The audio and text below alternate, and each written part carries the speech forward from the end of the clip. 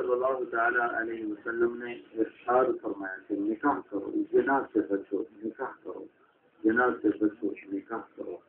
اللہ اور اللہ کہتا ہے اللہ تقرب الزنا جنا کے قریب بھی نہ جاؤ۔ جنا کے قریب جانے کا مطلب ہے کہ جو جنا کے اسباب ہیں کہ فرض کی عورتوں کے ساتھ ملنا، جلنا، اس سے یہ چیز بڑھتی ہے اس سے اپنے آپ کو بچاؤ بچاؤ۔ اللہ تعالیٰ تمہیں پاکیزہ معاشرہ عطا فرمائی اور اس میں نسل کی بقا نے اپنی گیارہ شادیاں کی ہیں۔ تیرہ نکاح کیے ہیں، گیارہ رخصتیں ہوئی ہیں۔ تیرہ نکاح ہوئے ہیں جس میں دو کو نکاح رخصت ہونے سے پہلے آپ نے طلاق دے دی اور گیارہ کی آپ کے ساتھ رخصتی ہوئی ہے۔ اور دو آپ کی زندگی میں انتقال فرما گئی حضرت خدیجہ اور حضرت زینب زینب باقی نو زندہ تھیں جب آپ دنیا سے تشریف لے گا آپ کی یہ شادیاں اپنے شوق کی نہیں تھیں، اللہ سے حکم کی تھی اگر شوق کی شادی ہوتی تو پچیس سال کا نوجوان، چالیس سال کی عورت سے شادی نہ کرتا۔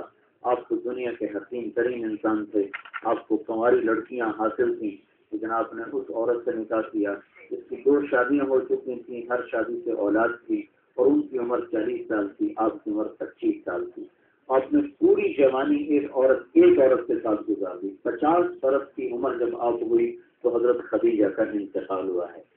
پینسٹھ سال کی عمر میں، آپ پچاس سال پچاس سال سے تریسٹھ سال، تیرہ برس میں آپ نے اس کے بعد دس شادیاں کی تو یہ عمر نہیں ہوتی شوق کی شادیوں کی، یہ عمر اللہ کے عمر کے ساتھ شادیاں ہوئی ہیں، تو اس میں بے شمار حکمتیں تھیں مسلحتیں تھیں، فوائد تھے جس کی وجہ سے آپ کو وہ نکاح کرنے پڑے ہیں۔ صرف ایک کماری لڑکی سے آپ نے نکاح کیا، حضرت عائشہ باقی سب یا طلاق شدہ تھی یا بیوہ، یا طلاق شدہ یا بیوہ۔ کسی کو طلاق ہوئی تھی، کوئی بیوہ تھی صرف ایک کماری لڑکی حضرت عائشہ رضی اللہ تعالیٰ جن سے آپ نے شادی فرمائی، یہ ساری شادیاں پچاس سال کے بعد ہیں۔ حضرت خدیجہ کے انتقال کے بعد آپ نے حضرت چودہ سے شادی فرمائی۔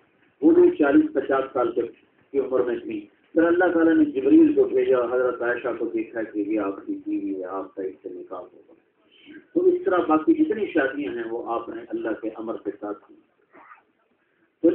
تو لہٰذا بہت سارے فائدے تھے جس کی وجہ سے وہ کی گئی ہیں۔ اور آپ نے چار بیٹیوں کو اپنے ہاتھ سے رخصت کیا ہے۔ آپ نے شادی میں تکلف بھی کیا ہے، سادہ بھی کیا ہے شہانہ بھی کیا ہے۔ تینوں طریقے سنت ہیں۔ تکلف بھی سنت ہے شہانہ بھی سنت ہے، سادگی بھی سنت ہے۔ کیونکہ سنت میں امیر بھی آئیں گے، غریب بھی آئیں گے، بادشاہ بھی آئیں گے۔ سب کو اس طریقے کا نہیں چلایا جا سکتا۔ تو آپ نے بالکل غریبوں والی شادی کی، حضرت عائشہ کی، حضرت عائشہ کی